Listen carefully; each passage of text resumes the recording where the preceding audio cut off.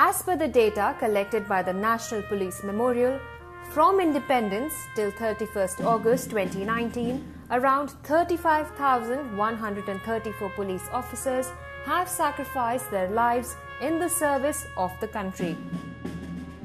Observed on 21st October each year, Police Commemoration Day aims at honoring the brave police officers who have made the ultimate sacrifice in the line of duty.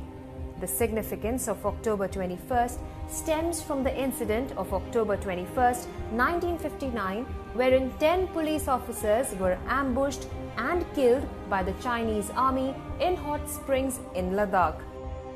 Prime Minister Narendra Modi expressed his gratitude and acknowledged the outstanding efforts by the police forces in preserving law and order and assisting others in times of need.